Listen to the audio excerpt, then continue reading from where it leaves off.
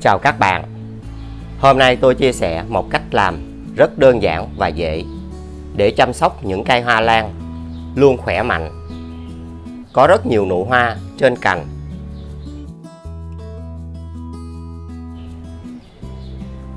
Cây phát triển với những chiếc lá khỏe mạnh, xanh tươi tốt. Các bạn sử dụng hai thìa gạo có chứa rất nhiều dưỡng chất cho hoa lan.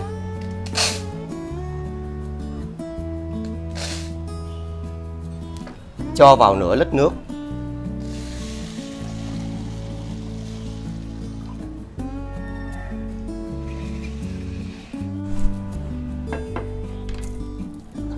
Sau đó các bạn sử dụng vỏ của hai củ hành nhỏ. Nếu củ hành to, chúng ta chỉ dùng một củ là đủ. Phần vỏ hành. Có chứa rất nhiều dưỡng chất.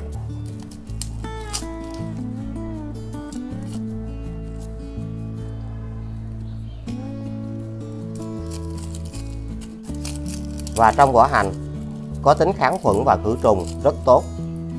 Sẽ giúp cho hoa lan không bao giờ bị nấm.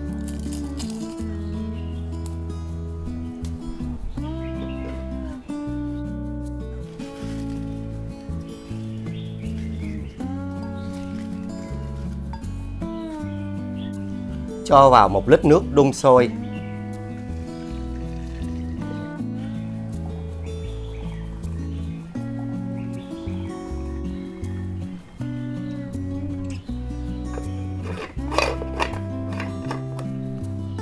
Các bạn hãy chờ cho nước này nguội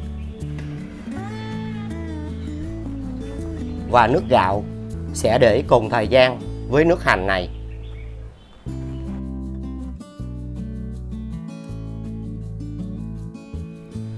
Trong thời gian chờ đợi thì 10 ngày một lần các bạn hãy tưới nước cho cây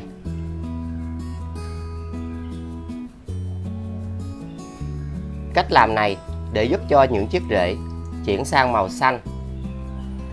Cây rất dễ dàng hấp thụ các loại phân bón tốt.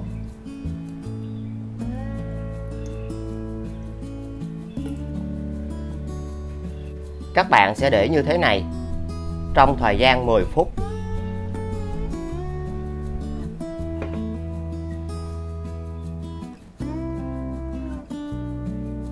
Sau đó các bạn lấy chậu hoa lan ra và chúng ta tuyệt đối không được bón phân khi chất trồng quá khô, vì cây sẽ không hấp thụ được các dưỡng chất cần thiết.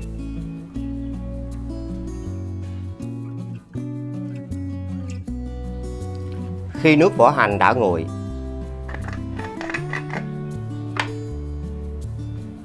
các bạn hãy lọc lấy nước này.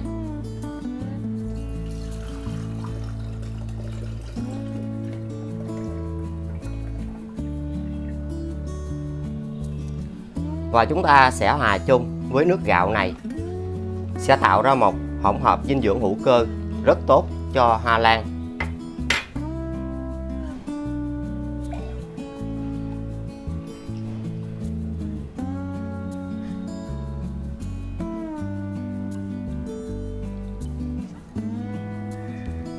Sau đó các bạn cho nước này vào bình phun.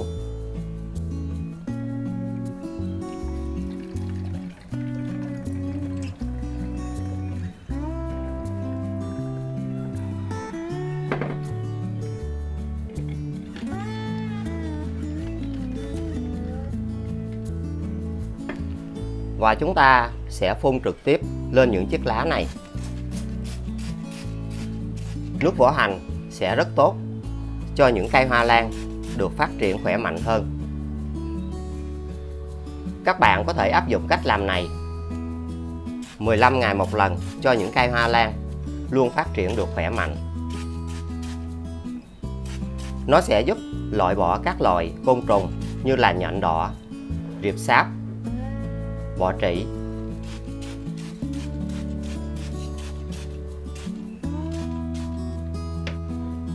các bạn thực hiện vào buổi sáng sớm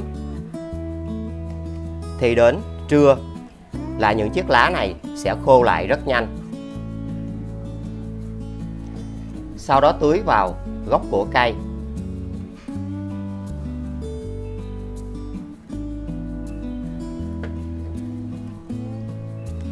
Sẽ giúp cho các vi sinh vật có lợi trong chất trồng phát triển.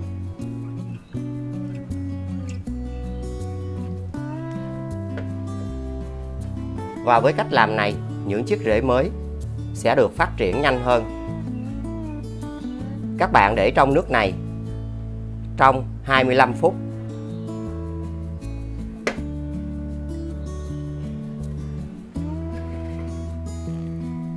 Khi hoa lan mua về hoặc những cây chúng ta trồng trong thời gian dài, cây vẫn không phát triển.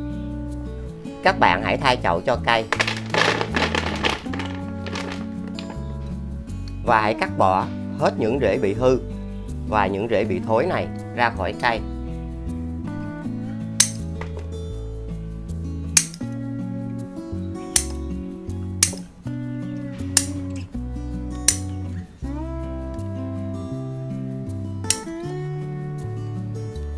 Những chiếc lá này, các bạn nên cắt bỏ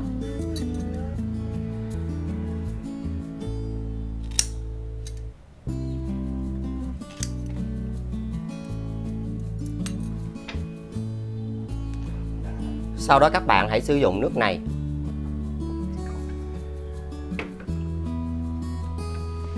Làm sạch các chiếc lá.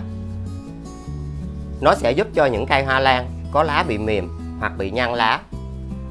Thì cây sẽ được phục hồi và phát triển được nhanh hơn. Trong vỏ hành, có chứa rất nhiều khoáng chất và có tính kháng khuẩn khử trùng. Khi những cây hoa lan này được phục hồi sẽ luôn được khỏe mạnh. Sau đó hãy đặt tất cả những chiếc rễ vào đây.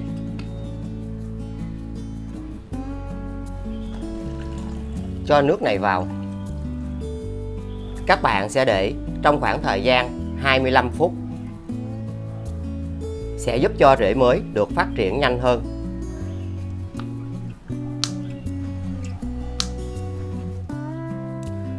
Dù trồng trên những loại chậu khác nhau. Nó sẽ luôn giúp cho những cây hoa lan yếu ớt và kém phát triển. Luôn có được những chiếc rễ khỏe mạnh.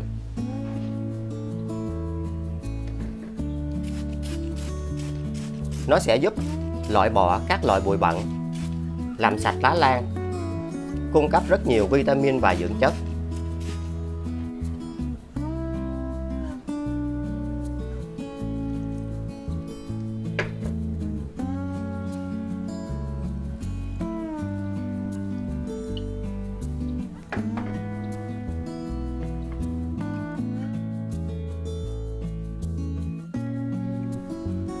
Sau đó hãy lấy ra.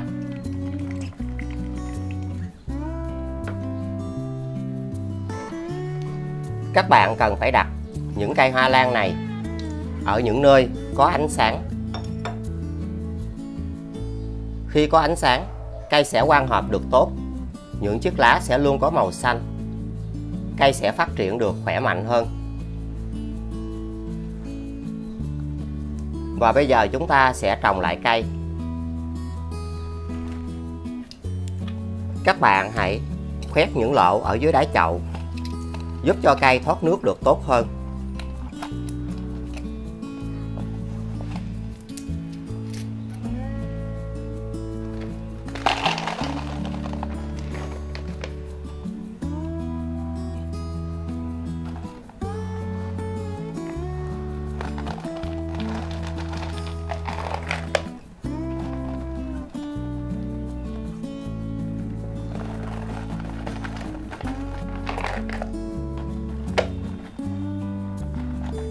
Chiếc lá này các bạn sẽ để khô một cách tự nhiên và không cần phải bôi gì vào đây cả. Khi mới trồng, các bạn hãy đặt cây ở nơi mát. Luôn giữ ẩm, đừng để cho chất trồng bị khô. Đừng quên like, chia sẻ, đăng ký kênh và nhấn chuông để tiện theo dõi. Xin chào và hẹn gặp lại chúc các bạn thành công.